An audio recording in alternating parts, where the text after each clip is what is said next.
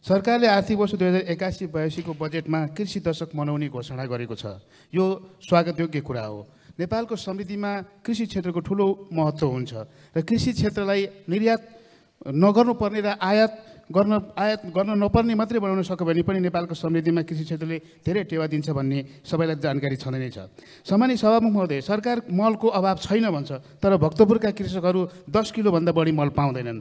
भक्तपुर नयाँ ठिमी ठिमी मध्यपुर बोडे लगायतका कृषि क्षेत्रहरूमा असाध्यै उब्जनी हुन्छ सामान्य सभामुख महोदय। तर सरकार एकातिर मल अभाव छैन भन्छ अर्कोतिर मल पाइँदैन। अनि फेरि गएर अर्को बजारमा गएर कालो बजारीबाट जति पैसा पैसा जति लिएर पनि मल दिने जति पनि भेटिन्छन् यसर्थ म सरकारलाई कृषि मन्त्रालयलाई गम्भीर ध्यान आकर्षण गर्न चाहन्छु कि यो कृषि क्षेत्रलाई उत्पादन बढाउन मलको राम्रो व्यवस्था गरोस्